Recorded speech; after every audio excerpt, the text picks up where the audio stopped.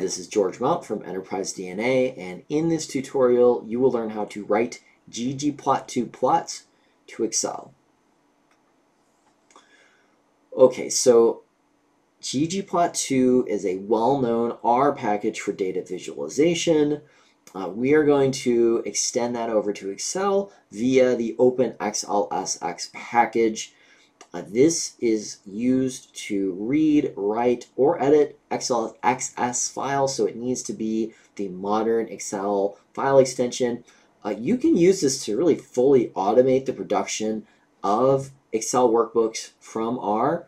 So you can think of it, and it has some similarities you'll see to VBA in terms of how it works. Uh, the nice thing with using this package is that you are able to extend the capabilities of your Excel reporting with R's capabilities. So something like ggplot2 is a great example for data visualization.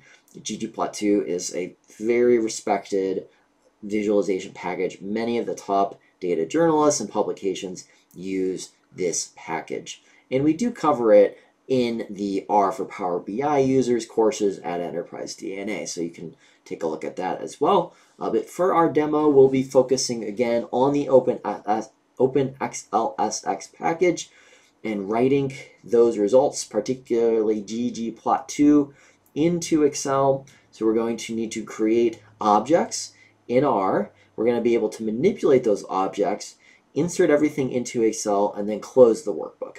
So let's take a look at doing this. All the resources will be available to you to download as well. Okay, so I'm here in RStudio. I've got a bit of a preamble here. We're going to read in a data set, MPG, here from the web. Uh, I've also got some packages that we're using. Again, you'll see OpenXLSX.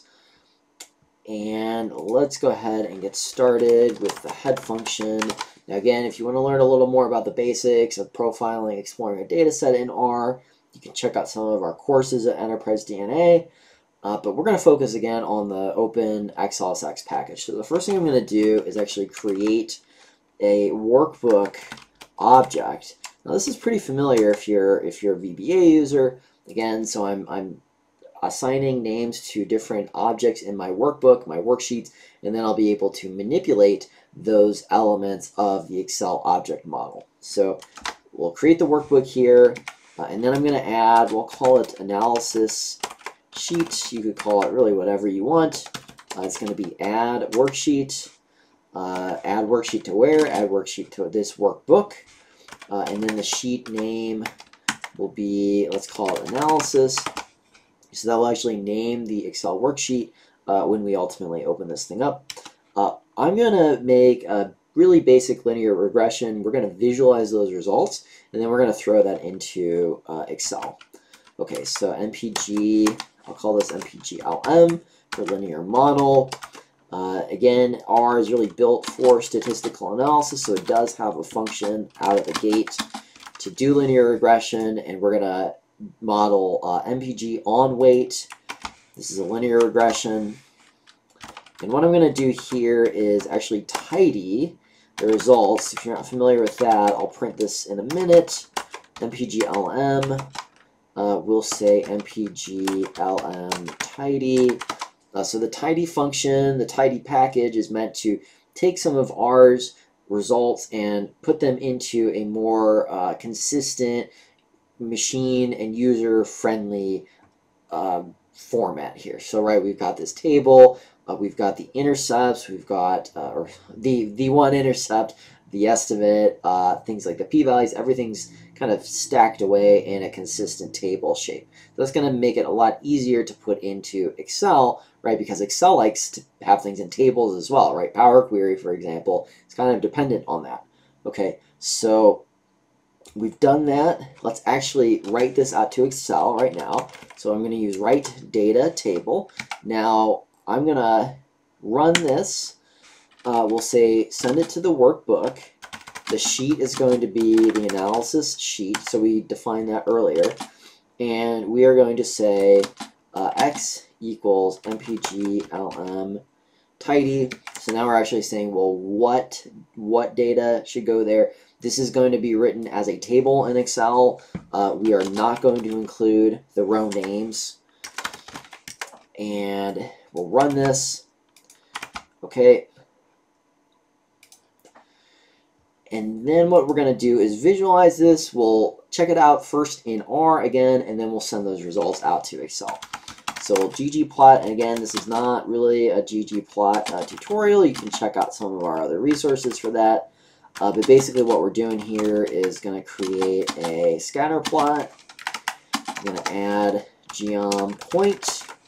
Uh, and then what I'm going to do is add geom smooth. Uh, the method here is going to be lm for linear uh, model. Okay, so if I run this now, we're going to see here's our regression plot. So we have weight on the x-axis, we have MPG on the y, and then we're seeing the downward sloping uh, relationship. Here is our regression fit line. So we have the coefficients here, uh, the fit values, etc. Uh, and then we are going to add the plot. So we can add this to the workbook as well. That'll be insert plot. Say workbook. Uh, sheet is going to be analysis sheet again. And then we can specify, so again, you know, a lot of these functions have a lot of different arguments. Some of them are optional, some are implied, etc. Uh, so what we can do here is start row at 5. We can start column at, let's say, A. Uh, we can also specify what the dimensions that we want. Width equals 4, and I'm even going to hit enter here so we can make this look a little easier to read. Uh, and then we'll set the height to 4. Now again, if you're working with any of these functions, let me run this first. Uh, that just inserted into the plot. Uh, if you're working with any of these functions and you want to know a little more about them, you can do insert plot. I have the question mark here. Run this. The help documentation is over here. And you'll see there are quite a few arguments here. And again, like I said, uh, some of these have implied values, etc. And you can tweak them as needed. Okay, so last thing we're going to do here is specify uh, where is this report going, what's the name of it, etc. So I'm going to call this MPG report. And then I'm going to save my workbook. Uh, the name of the workbook is the workbook. So again, this is the, uh, I should say the object, uh, the name of the workbook object that we've been using. Again, that was specified way at the beginning. That was the first thing we did. Then we added a worksheet. We could add multiple worksheets to that. Uh, we just added the one. We named that worksheet. Then we added the table. Then we added the plot. Uh, and now we're going to close things up here. So I'm going to specify, well, the name of the file is going to be mpg report. Uh, override, I'm going to set this to true. In case there's a file there, it'll just automatically overwrite that. Okay, so I'm going to run this, and then we can go fetch this file and take a look.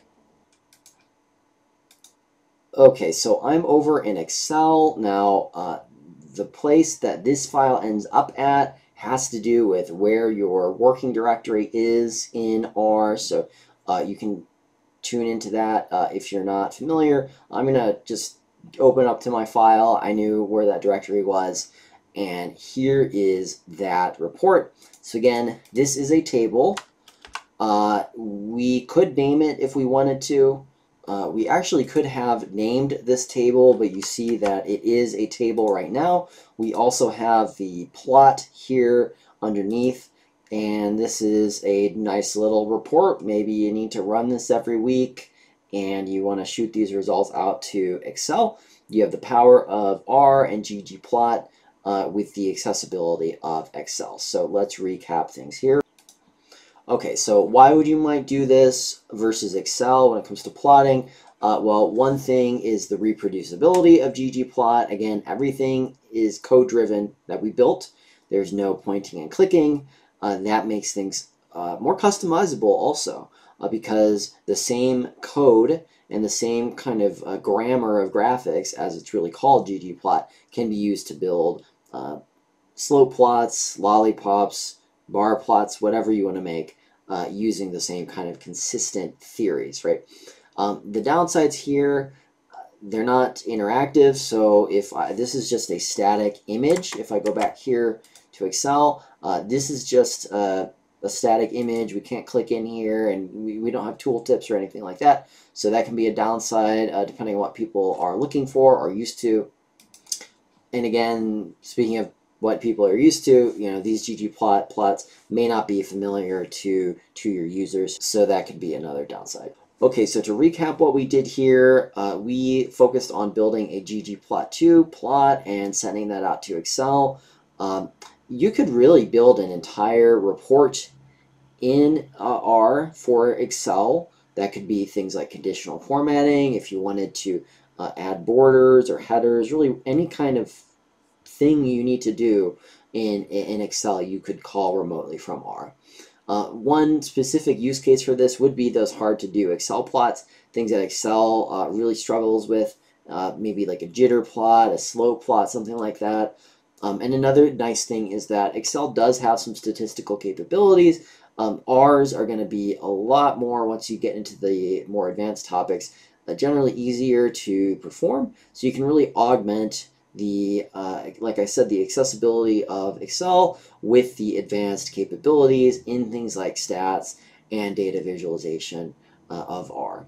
Uh, so I hope you learned something, hope you can use this, and uh, take a look at our other tutorials. Again, this is George Mount with Enterprise DNA. Uh, appreciate you watching. Hey everyone, thanks for tuning in to Enterprise DNA TV. If you enjoyed the content covered in this particular tutorial, please throw the video a like. It really helps us and we really appreciate it.